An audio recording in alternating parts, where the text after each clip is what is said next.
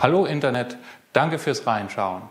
Ich habe schon ein Video über den Begriff Compliance gemacht und darin habe ich erklärt, dass Compliance die Einhaltung geltenden Rechts und die Beachtung ethischer Maßstäbe im Geschäftsverkehr ist.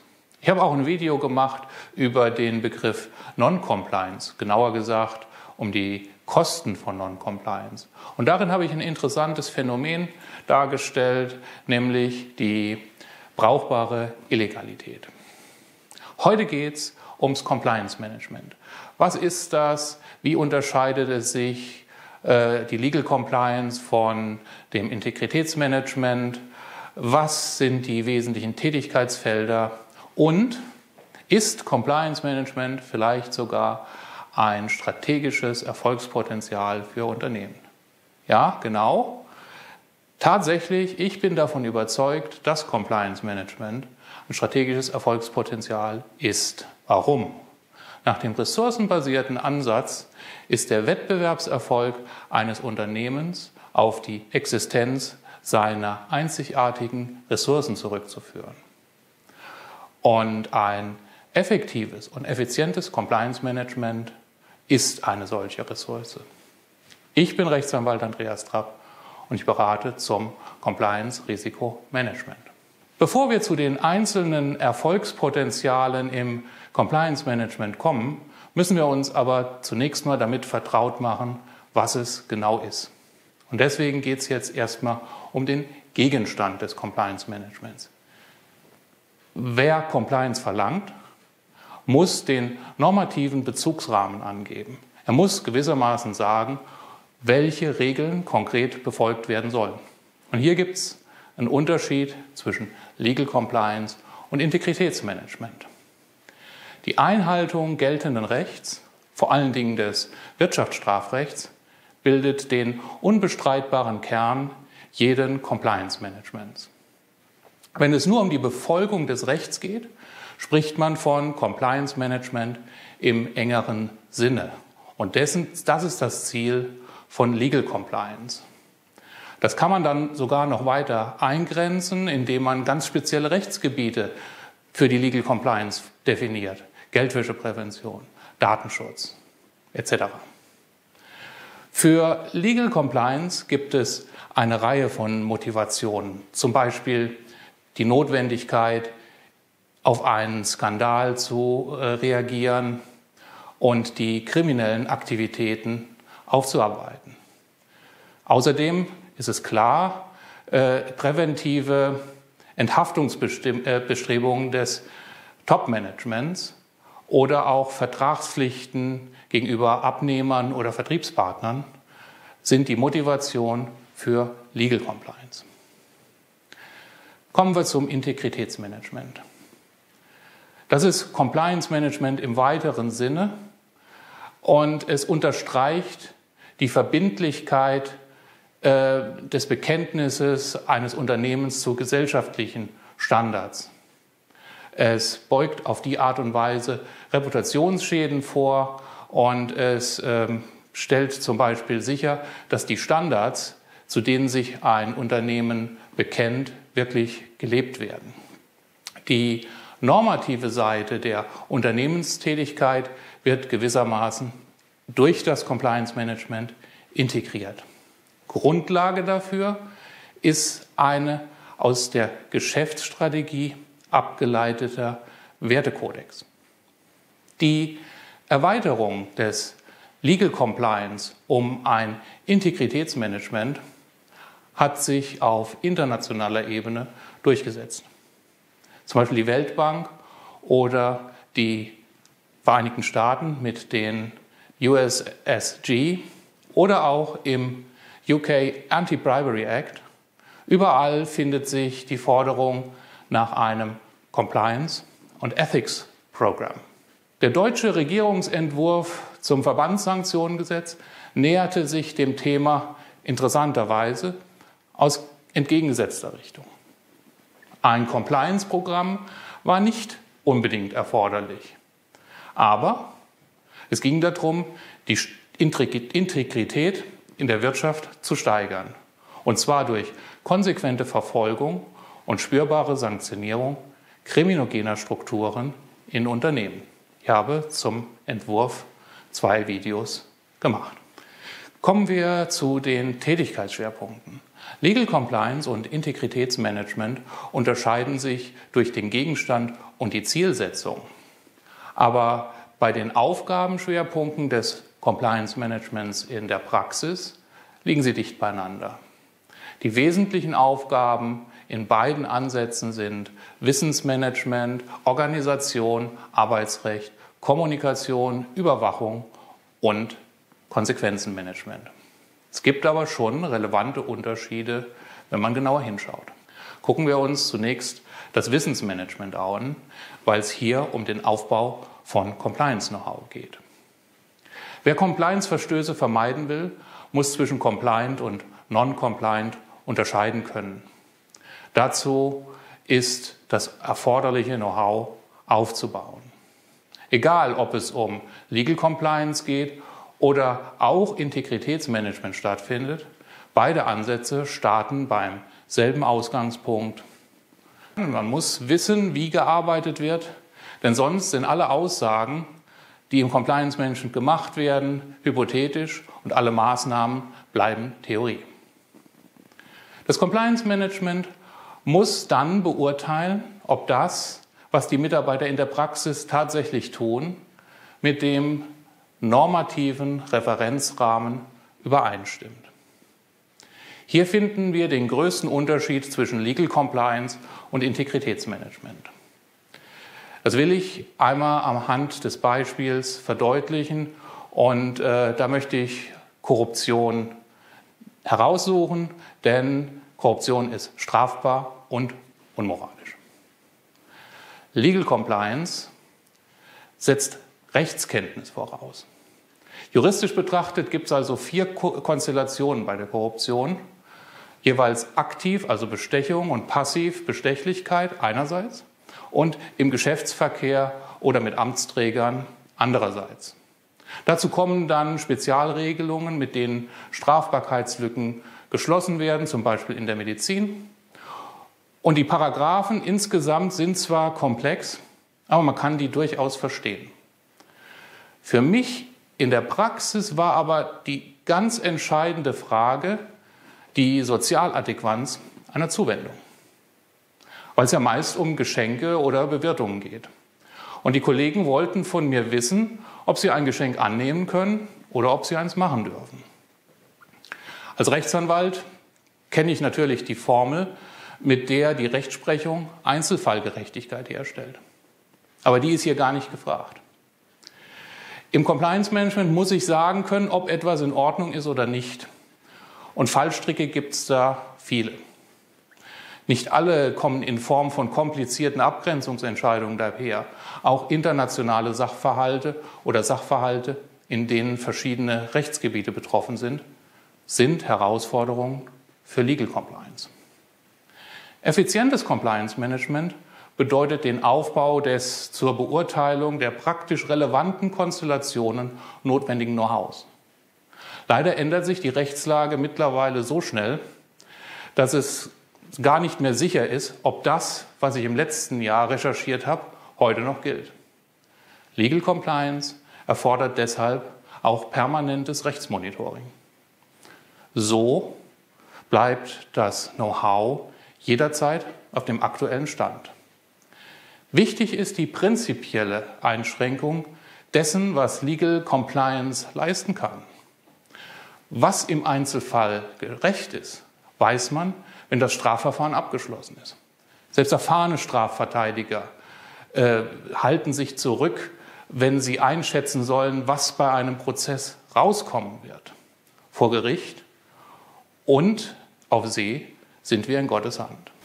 Integritätsmanagement erfordert den professionellen Umgang mit den Erwartungen der Stakeholder.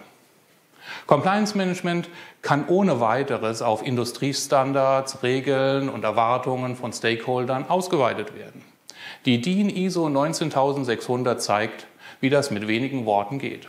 Sie definiert Compliance als das Einhalten aller bindenden Verpflichtungen. Diese definiert sie wiederum als Anforderungen, die eine Organisation erfüllen muss, das ist dann Legal Compliance, oder Anforderungen, denen sie sich freiwillig unterwirft, zum Beispiel ein Wertekodex. Also könnte zum Beispiel ein Wertekodex äh, den obersten Grundsatz äh, enthalten, dass das geltende Recht auf jeden Fall eingehalten wird.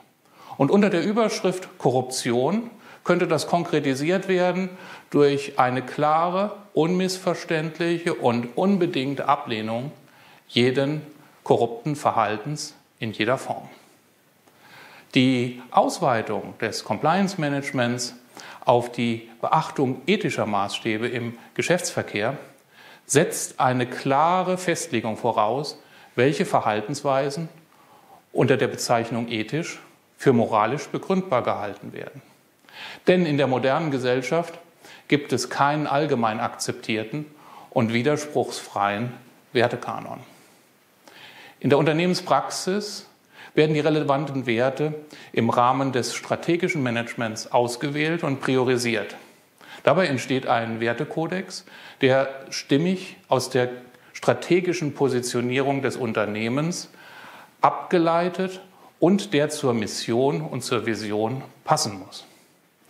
Sind die Voraussetzungen geschaffen, ist schon ein großer Schritt zum Integritätsmanagement im Compliance Management gemacht. Die zweite wichtige Aufgabe betrifft die Organisation. Es geht um das Management der Compliance-Richtlinien. Offensichtlich ist für Compliance Management nichts gewonnen, wenn das aufgebaute Know-how ungenutzt bleibt. Hier geht es zunächst um den Spagat zwischen Richtigkeit und Verständlichkeit. Hinsichtlich Korruption stellen sich beispielsweise die Fragen, wie viele Fallgruppen bilden wir in der Gifts and Hospitality Policy? Lassen wir Ausnahmen zu? Wenn ja, international einheitlich oder nach Rechtsordnung differenziert? Wie gehen wir mit widersprüchlichen Vorgaben im US FCPA und im UK Anti-Bribery Act um? Wenn es nicht nur um Legal Compliance geht, tut man sich an dieser Stelle tendenziell etwas leichter. Eine generelle Ablehnung jeglichen korrupten Verhaltens dürfte schon dazu führen, dass ein gewisser Sicherheitsabstand zu rechtlichen Grenzfällen leichter einzuhalten ist.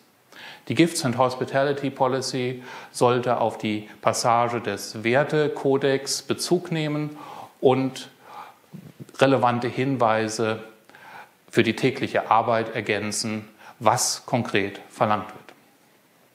Generell ist es empfehlenswert, Compliance-Richtlinien mit den Betroffenen abzustimmen. Geht es nur um Legal Compliance, dann stehen Rechtsfragen, betriebliche Erfordernisse, praktische Umsetzbarkeit, aber auch Verständlichkeit im Vordergrund. Wenn der Vertrieb Bewirtungen und Geschenke braucht, muss das Compliance Management eine rechtskonforme, verständliche und umsetzbare Regelung finden. Beim Integritätsmanagement steht die Ableitung von Verhaltensregeln aus den Werten im Kodex im Vordergrund. Je konkreter und praxisrelevanter die Fragestellung, desto vielfältiger sind jetzt aber auch die möglichen Interpretationen. Compliance-Richtlinien werden bei diesem Ansatz auf Augenhöhe gleichberechtigt formuliert. Die Mitarbeiter sind schließlich eine der wichtigsten Stakeholdergruppen. Der Prozess dauert länger und kann vom Compliance Management nur bedingt gesteuert werden. Hier bewährt sich ein vorgegebener Wertekodex als Ausgangspunkt. Er verhindert, dass sich eine Unternehmensethik im Widerspruch zu gesellschaftlichen Standards oder der Rechtsprechung entwickelt. Kommen wir zur Kommunikation. Darüber habe ich auch ein eigenes Video gemacht und die wesentliche Botschaft ist, ein Stück Papier erzeugt keine Compliance. Um Compliance zu erzeugen, muss das Verhalten der Mitarbeiter beeinflusst werden. Dazu dienen Kommunikation und Kontrollen. Im Kern geht es um, im Compliance Management darum, Non-Compliance zu erkennen, die unterschiedlichen Ursachen zu finden und angemessen zu reagieren. Dabei sollte man sich Folgendes im Hinterkopf klar machen.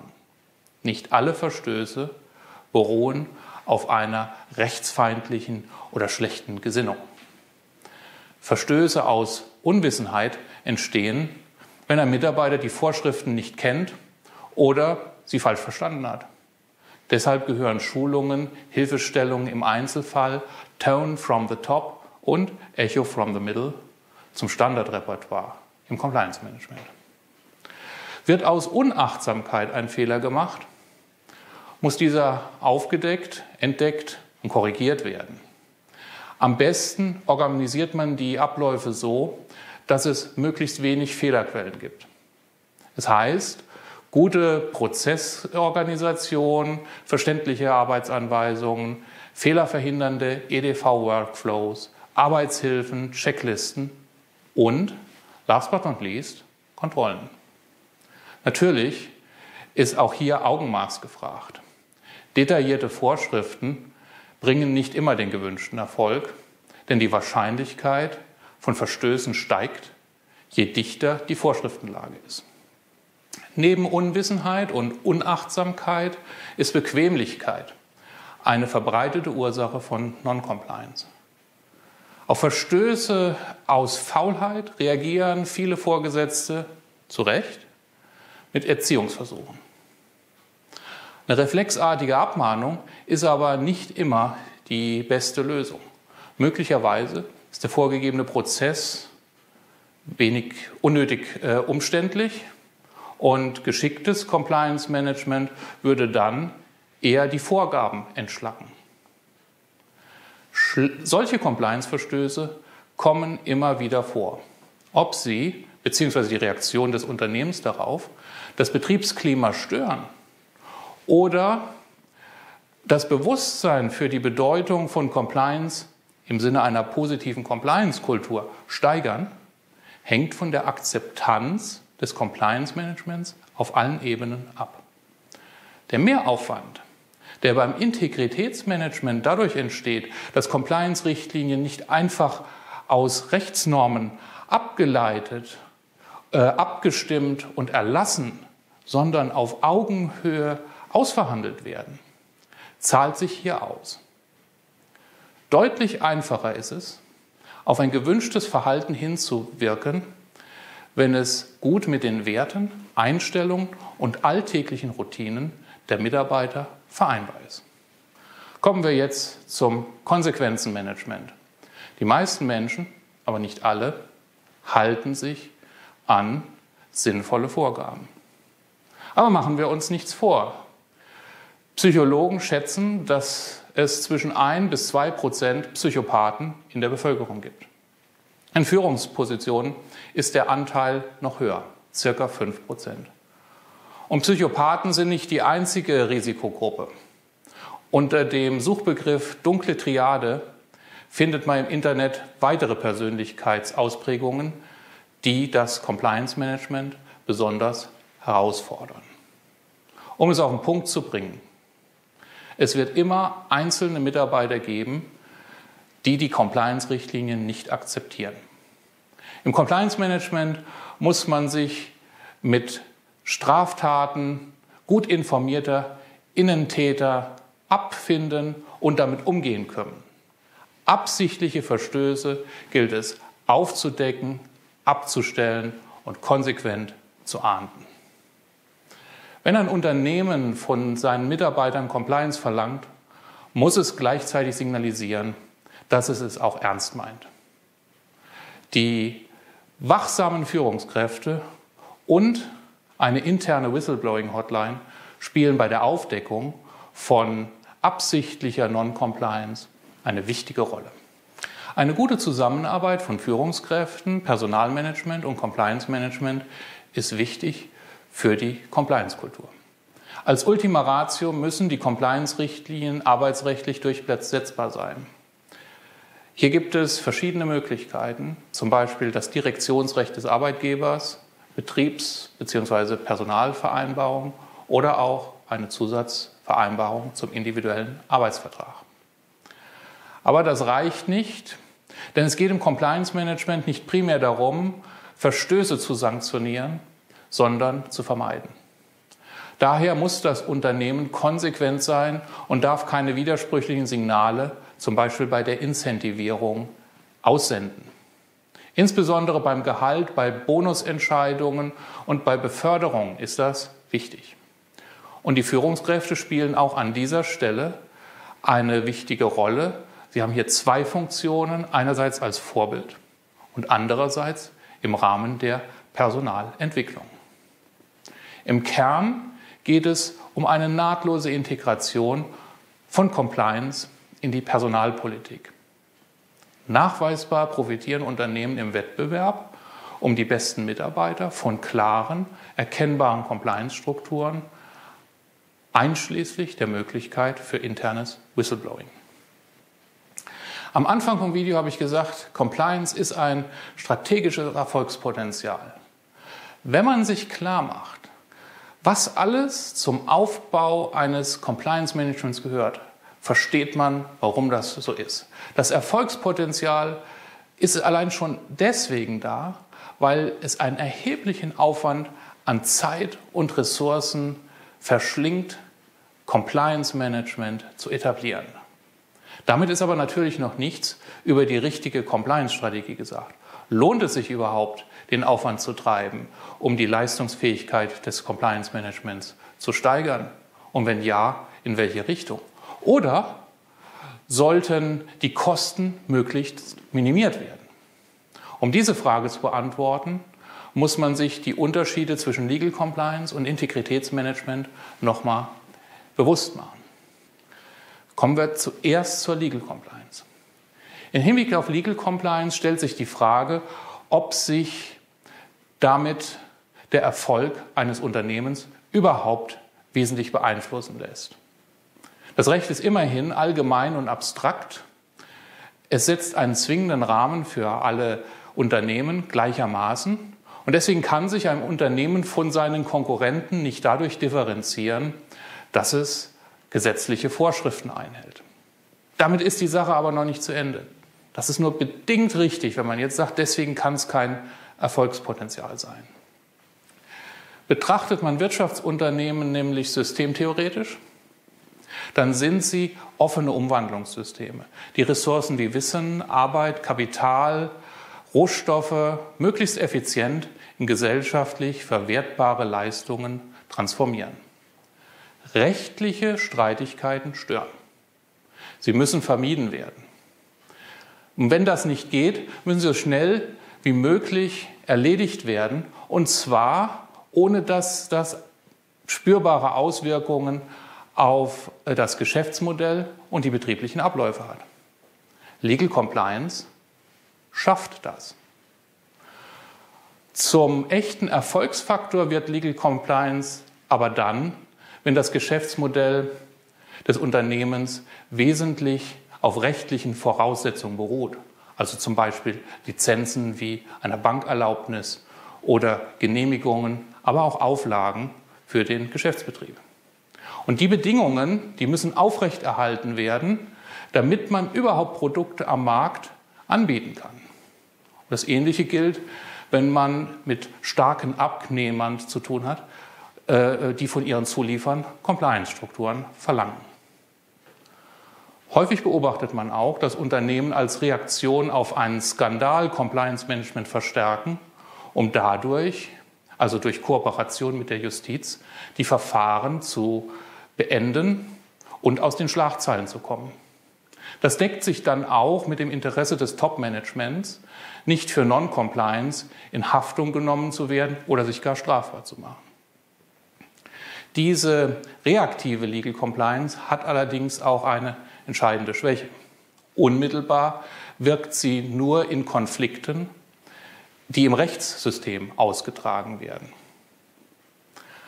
Aber nicht alles, was rechtlich erlaubt ist, wird von der Gesellschaft auch akzeptiert. Es bringt nichts, mitten im Shitstorm auf umfangreiche Rechtsgutachten zu verweisen. Die Wettbewerbsnachteile die sich aus einem nachhaltigen Reputationsverlust ergeben, kann Legal Compliance weder verhindern noch reduzieren.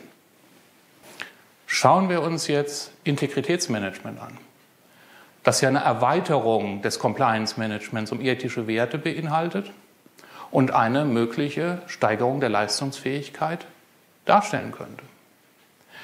Wenn sich das Compliance Management nicht auf Legal Compliance beschränkt, sondern sich auch als Integritätsmanagement versteht, dann schützt es und verbessert es das Geschäftsmodell des Unternehmens von der moralischen Seite.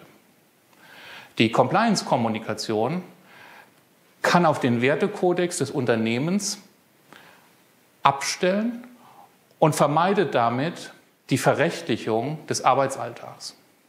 In operativem Compliance Management ist weniger Abgrenzungsaufwand hinsichtlich der Rechtslage erforderlich. Gleichzeitig ist eine höhere Akzeptanz der Compliance-Richtlinien zu erwarten, weil sie aufgrund einer intrinsischen Motivation durch die Mitarbeiter eingehalten werden. Es ist auch eine größere Stabilität des normativen Bezugsrahmens für das Compliance Management zu erwarten, weil die akzeptierten Werte der Gesellschaft über die Politik letztlich ja auch in geltendes Recht transformiert werden. Beispiel Lieferkettengesetz.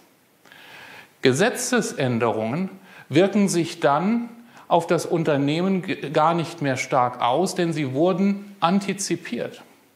Im Idealfall ändert sich nur der Grund, warum eine Compliance-Richtlinie bestimmtes Verhalten verlangt. Die ethischen Erwägungen werden zur Rechtspflicht. Und mit dem Ansatz wird das Geschäftsmodell und die Betriebsabläufe weitgehend fortgeführt werden können. Was sagt uns das? Ich finde, es liegt auf der Hand, dass Compliance Management ein strategisches Erfolgspotenzial darstellt.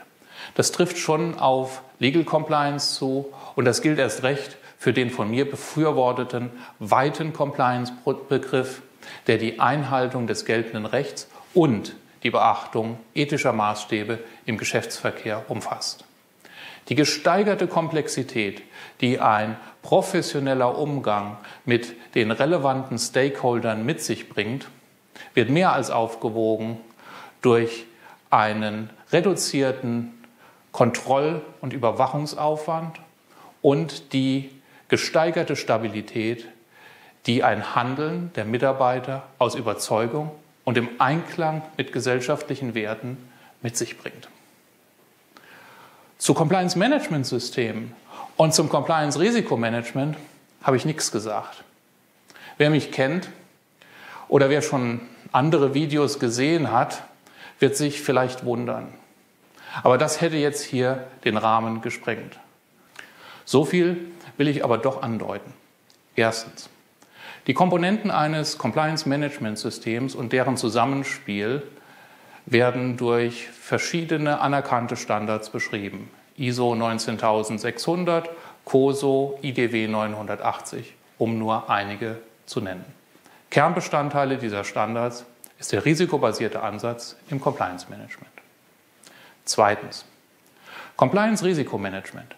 In dem Sinn, dass bestandsgefährdende Compliance-Risiken frühzeitig identifiziert, bewertet und gesteuert werden, ist eine Pflichtaufgabe jeden Vorstands oder Geschäftsführers.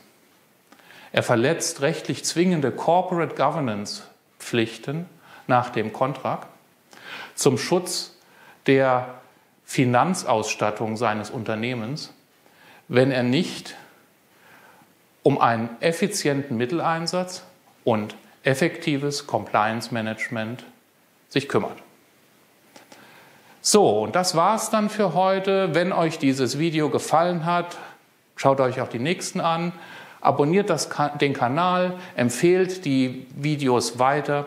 Ich würde mich freuen, euch bei einem weiteren Video begrüßen zu können.